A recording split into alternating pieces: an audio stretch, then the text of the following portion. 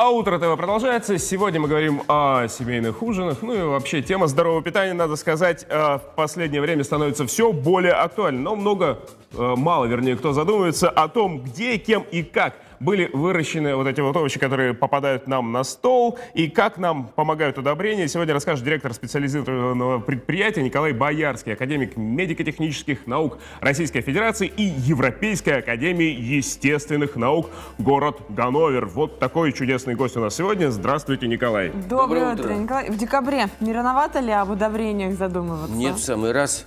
Почему? Потому что у нас больше 100 миллионов э, населения питается за счет приусадебного хозяйства. То есть участка. Это дачи, приусадебное хозяйство. Это раз.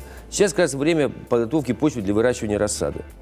Почему? Потому что, ну вот существует мнение о том, что вот почву там для выращивания надо пролить кипятком, пропаять, э, пролить марганцовкой, проправить в духовке там и так далее, и так далее. Зачем?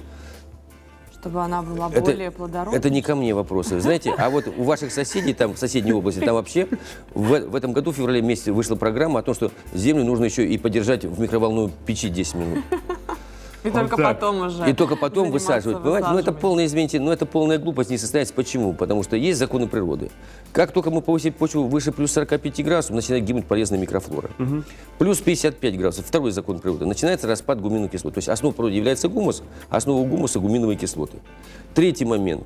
Когда мы почву пропариваем, прожариваем, то есть у нас идет что? У нас идет уничтожение полезной микрофлоры и остается болезнетворная микрофлора. Почему? Опять закон природы. Ну, это у любого медика спросите. Болезнетворная микрофлора гибнет когда? При теноре 180 градусов Цельсия и выше. Ага, а полезные они Плюс, бо- плюс- более ну, у, нас, ну, у нас с вами плюс 41,5 градусов, у нас уже полулетальный исход Ну, нарушается. Поэтому это все. Поэтому нами созданы вообще вот созданы препараты на основе чистой и микробиологии. Я сразу говорю телезрителям о том, что есть гу- гуматы, это соли гуминовой кислоты, это органоминеральное соединение. То есть соединение с- со щелочь, едким калием, либо едким натром. И там превышение щелочи где-то идет выше 8%, как минимум. А там, где есть опять закон природы срабатывает, микробиология точнее, там, где превышение щелочи идет выше 4%, там начинается гибель полезной микрофлоры. Опять нюанс, да, опять удар. Поэтому мы создали чистые гуминовые кислоты, это первый препарат. Чуть ниже я, я, я вам покажу его.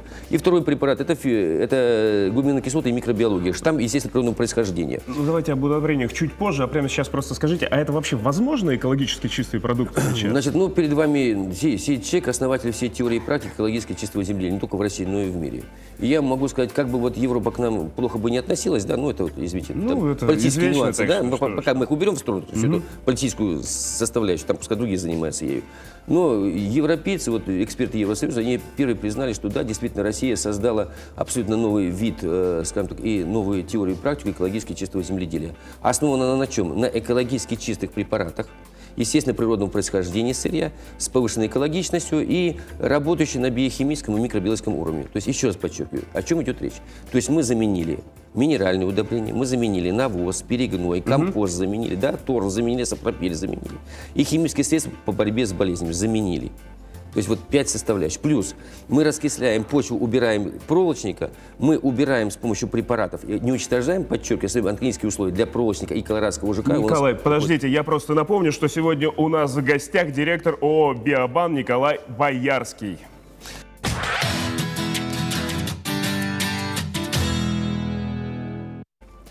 Итак, Николай, какой вид удобрений предлагает ваша Итак, фирма? итак, два препарата. Препарат Флорес, это чистые гуминовые кислоты, я подчеркну, не гумат. И препарат фитофлорес, это гуминовые кислоты и микробиология.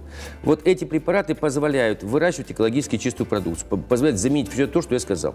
С помощью данного препарата нейтрализуются в почве химически агрессивные вещества и создаются условия для развития полезной микрофлоры. Плюс идет тяжелый металл из активной формы в энергию переводится.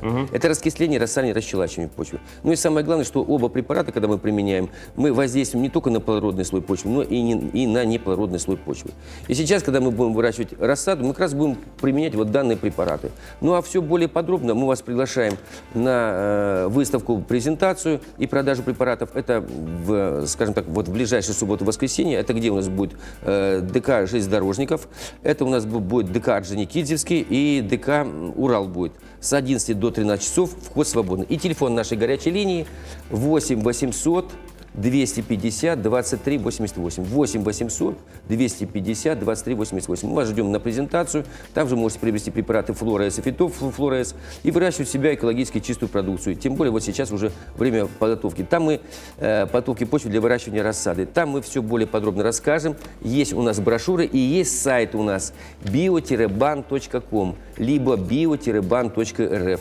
На этом же есть 9 учебных фильмов, где показано о порядке применения экологически чистых препаратов флорес и фитофлорес. Дальше э, будет, э, на презентациях будет диск. Я хочу подчеркнуть, что мы проводим в субботу и воскресенье в ближайшую 13-14 числа.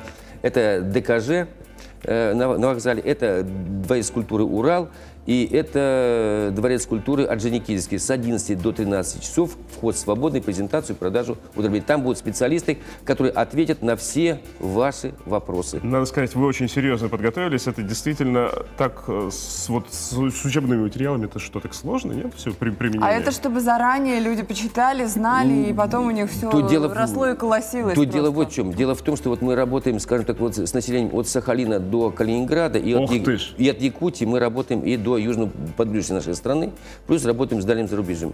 И помимо того, что мы разработали теорию и практику экологически чистого земледелия, ну, вот если брать ближайшее время, мы для Крыма разработали закон об экологически чистом земледелии, это раз. Ну и человек, сидящий перед вами, является членом комиссии в ряде при правительстве государств, где разрабатывают законы о продовольственной экологической безопасности. Спасибо, Николай. Спасибо Приходите на огромное. выставку, будет у вас возможность и с уникальным человеком, и с уникальными препаратами познакомиться. Напомним, сегодня у нас в гостях был Николай Боярский, академик медико-технических наук Российской Федерации и Европейской академии естественных наук город Ганновер, директор ООО «Биобан». Прямо сейчас небольшой коммерческий перерыв, потом мы продолжим наше общение.